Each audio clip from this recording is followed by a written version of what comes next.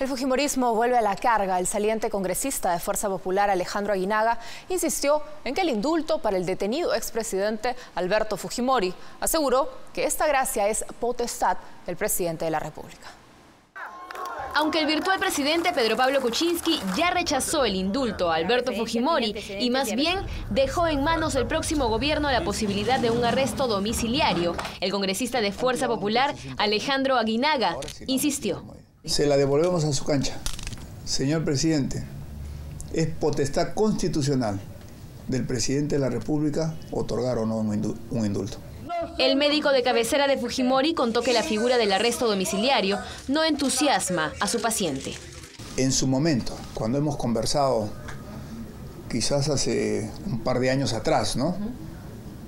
En ese momento no, no, no, no lo entusiasmaba, ¿no?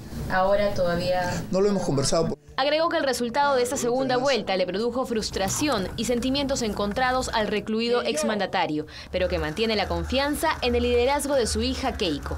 De otro lado, sobre la esperada reunión con PPK, el parlamentario fujimorista comentó.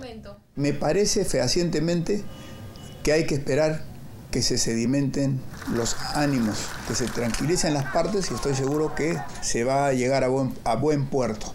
Que se van a reunir, quiere decir. No, yo he dicho que se va a llegar a buen puerto, que es el país. ¿Ah? ¿Y el saludo tradicional? Bueno, el saludo tiene, el saludo hay para fiestas patrias.